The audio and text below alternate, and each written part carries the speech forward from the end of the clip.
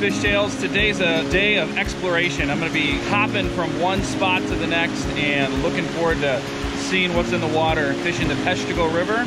Never fished it before. Really looking forward to it. Stay tuned.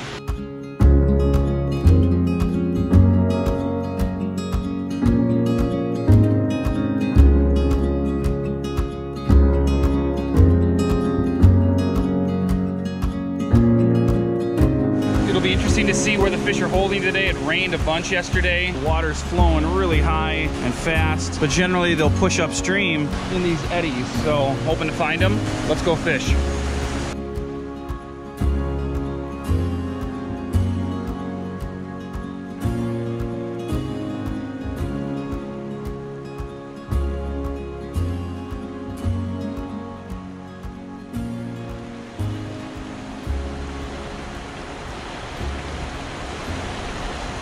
Here we go, first fish. Whoa! There he goes. Set the hook a little too hard on this guy. And he went flying out. Okay then. First fish released.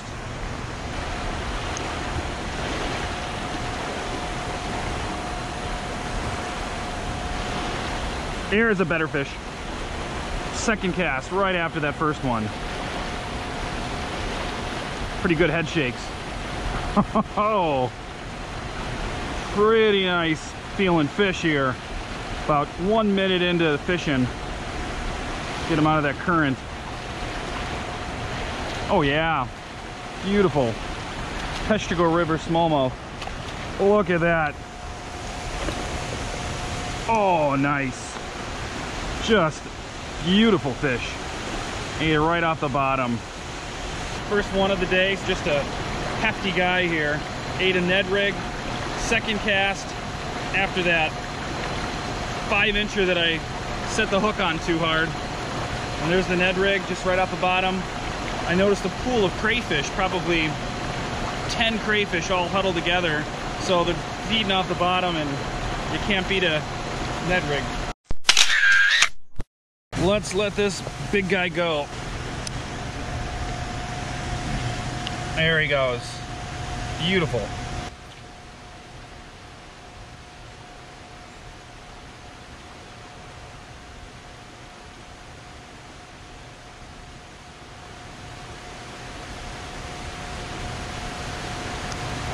Here's a fish.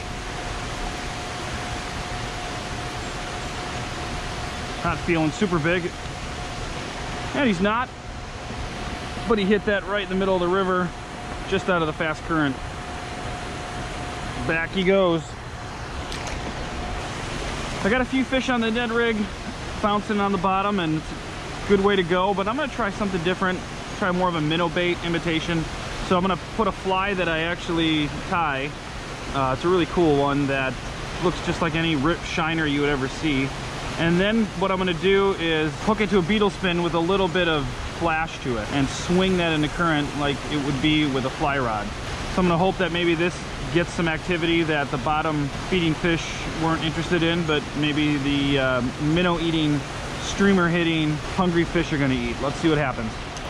Not a lot of weight to it, so I'm gonna get some water on it. Like it. First cast.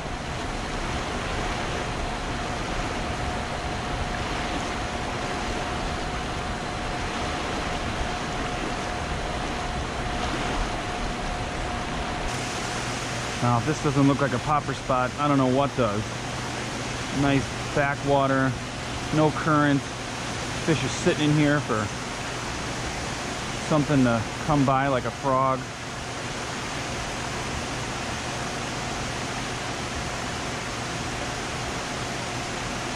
A few casts here with it being a little brighter out and then we got to move on.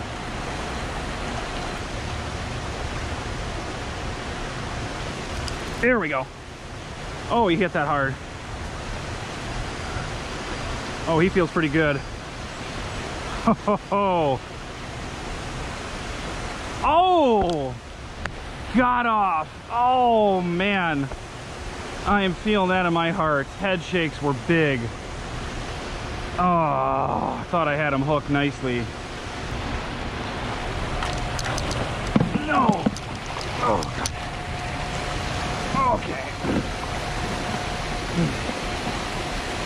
Just retied on my jig as I was bringing it in. It fell right off. I think it had some frayed aspects of the line with all these jagged rocks. And the jig fell off right in this little water here. But I got in without falling in and got it. Salvaged the jig. And let's see if there's something big around here besides that one I lost and the one I caught. Here we go. There we go. Oh, just broke me off. What was that? That had so much weight. Clean break off. You can see there's no knot that came undone. Oh, that was a big boy. Put the Senko on. Maybe I can hook into something that wasn't biting the Ned rig or top water and have a shot at some of these heavy fish that I already lost and broke my line on.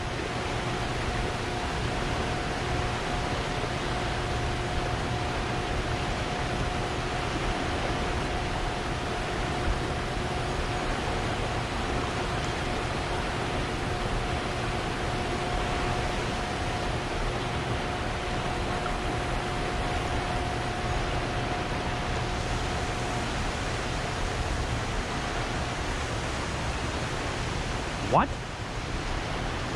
Broke my line? Again? What is down there? Lost a big one there. Broke my line on something huge there. And just something snapped me off without even feeling it. It just clear cut me off. So I'm gonna try to do a swim bait with a darter head jig and hope to get a better hook set. And I don't wanna leave until I catch it. Here we go.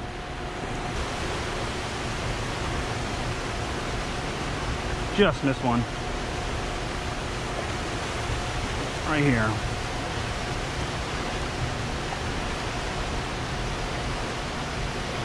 Oh! Broke me off again. What is down there? Oh, I don't know if he's got three lures in his mouth or what.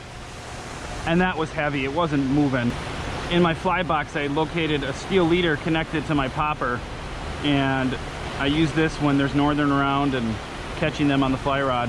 I'm gonna put this on my spinning reel, see if I can catch what's down there without it breaking me off. Here we go. This is something big.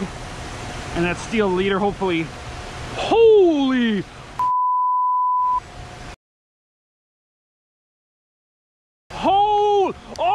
broke me off. Musky. Oh, was that huge. I couldn't stop it. Oh, was that big. I don't know if that's the same one that's got four lures in his mouth. Oh, man. And there's my only steel leader.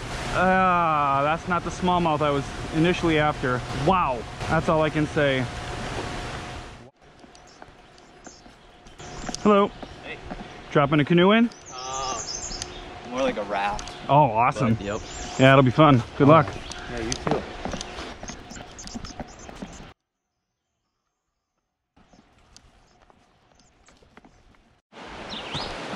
Working my way to the next hole. Found my next hole. Got one. Immediately.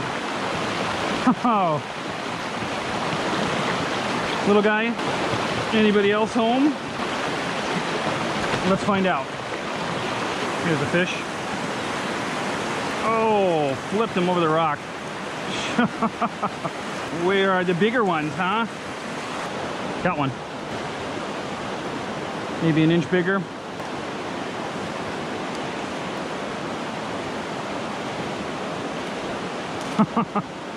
oh, right in front of me. Big one. Where are you? I can keep it out of the current like that. Oh, that one hit harder. But he's no bigger. This one feels a little bigger. It's hard to say in the current, they definitely fight either way. Oh yeah, he's a little bigger.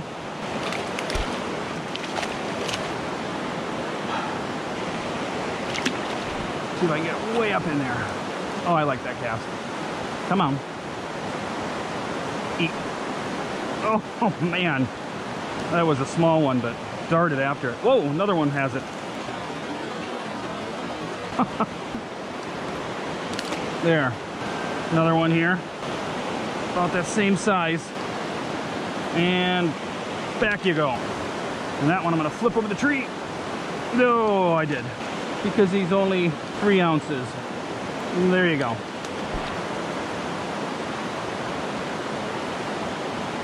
This one feels better. What do we got for size? This one's not flippable. Come on in.